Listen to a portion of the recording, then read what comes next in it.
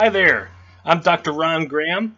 I'm uh, a partner in No Such Thing as a Bully. See, here's our book, or one of our books.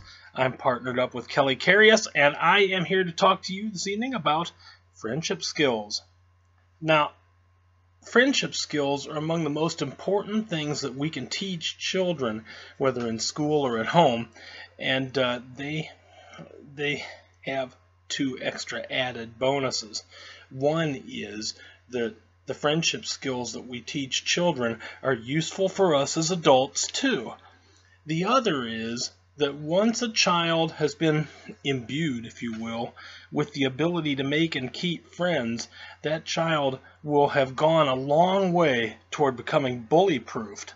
Now, there are a number of skills that a kid will want to master in order to be able to make and keep friends, but I'm going to hit you with three broad uh, um, categories that they fall in. The first is getting off to the right start. You want to choose the right friends and you don't do it on the basis of what the person can do for you, but what you're going to be able to do together. Um, you're going to want to be able to make that friend in the right context. Um, and you're going to want to be able to continue the friendship in the right context too. I mean, you wouldn't want your children making friends in a bar, for instance, necessarily. Uh, but if you are in business, you might have meetings at a bar and make friends that way yourself. So it's going to vary. Uh, the second thing that you want to be able to master is active listening skills. Now, for us as adults, and probably for children too, it's going to mean putting down the phone and actually engaging with the people that we're talking to, looking them in the eye, and making sure that we listen when they talk. Um, we'll fire back what we hear so that they can so that they can get a, a sense that we've been listening to.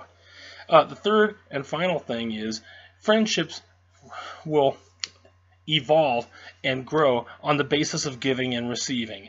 You have to be able to share yourself and your stuff and your time with your friends, and you have to be a good receiver of what they share with you also. Now, kids can be trained to do all these things from a very early age. Um, we recommend that you do the, that you do most of the training through role-playing games, and we can help you out with that. Um, but adults can benefit from this too. If not necessarily even with a role-playing game, just consciously practice the tips that we talk about when you're with your friends. Um, anyway, it's all here in our book. There's going to be more on our website to talk about this, and uh, I hope you will take advantage of that. Once again, I'm Dr. Ron Graham. I'm here to help you get your kids bully proofed, and I hope you have a pleasant evening.